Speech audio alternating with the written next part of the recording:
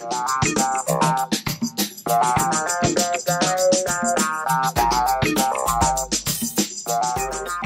in to your ECSS account. Choose ENSS. Select Member Directory. Specify your search criteria. Contact an ECSS member or search for the member's publication in the EDSS. Select Members Forum. Read members' posts and comment. Or start a new thread. Select members groups. You can join a group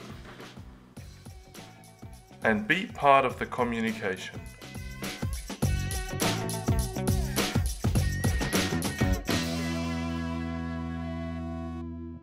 Bye.